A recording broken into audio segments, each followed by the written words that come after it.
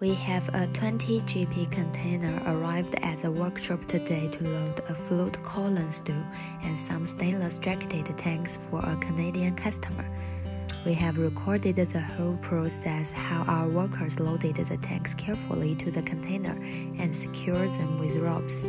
Since it's a FCL, we don't have to make crates to pack the tanks individually like we did for goods shipped on LCL, shares a container with other goods. The FCL shipment is relatively more secure and has simpler logistics compared to LCL, and we suggest to use it if the goods can fill more than three-fourths the full.